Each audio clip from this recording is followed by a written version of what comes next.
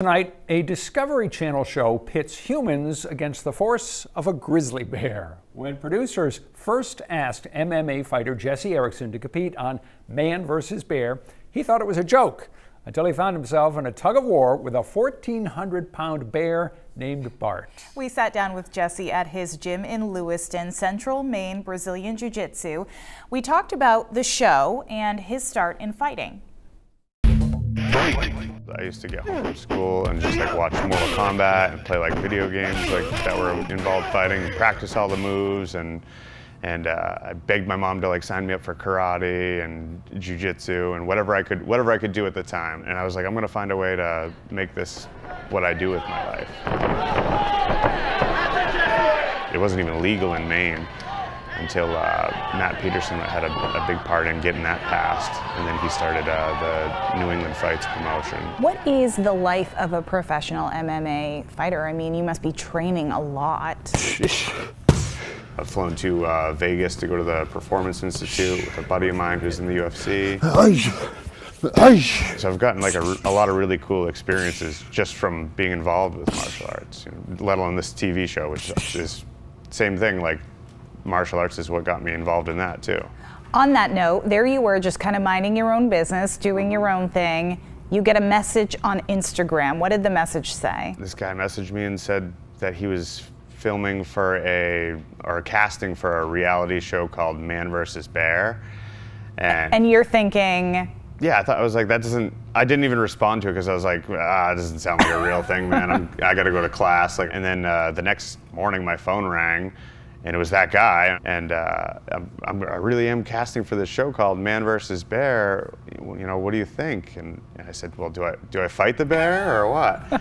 and he said, no, but I like your attitude. Like, uh, I'd like to have you fill out an application and see if we can get the ball rolling. And sounds like it was a, a lengthy process, like six months. You're training for this. You're getting ready. Mm -hmm. You mm-hmm. finally show up and you see these bears, what's going through your mind? They're getting ready to film the first challenge of the day, uh, the like tug of war one, and they brought Bart the bear out in his trailer, and he like he slaps the back of the trailer, and he's like, Rawr!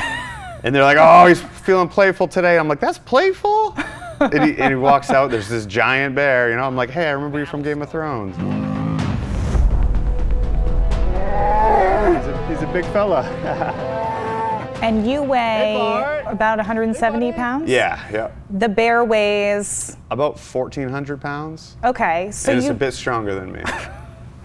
so what happened when you had tug of war with Bart? I grabbed the rope and Bart did this with his neck and I went, whoa, flying into the water like like a comic book character, like it was nothing to him. Hey Bart, it's okay. Oh, he's got the grip and Jesse. Big cool. Nice and easy, Bart.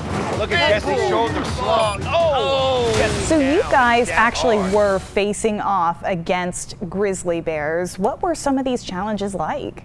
Yeah, they were, we actually competed against bears the whole time. It wasn't just like, I've seen a lot of things like online, like, ah, oh, this is, you know, edited in. Like, no, man, like a bear ran behind me while I did this. I promise you that. Because I, if you ever needed, uh, that was one of the challenges. We did like a short obstacle course and then had to climb a tree and try to ring a bell. Um, and man, if you ever needed, you know, motivation to run or get through an obstacle, there it is.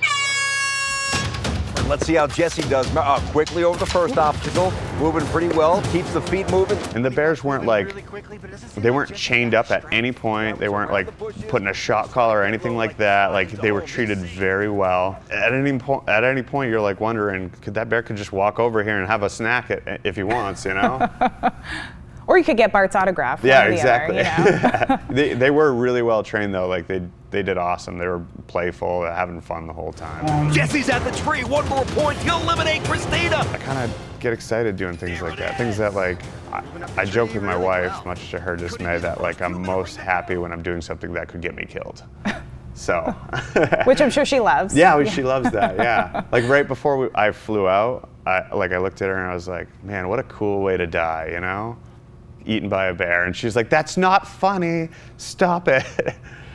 Make sure the insurance is up to date. Yeah, yeah. um, you obviously, you do some coaching too. Mm -hmm. When kids look up to you and say, I, I want to be just like you. I want to do MMA fighting. Obviously, this is a challenging career to get into. What's your advice to the young ones? I think life's too short to do anything other than what makes you happy. So find what makes you happy and find a way to make some money doing it and, and live the way you want to live.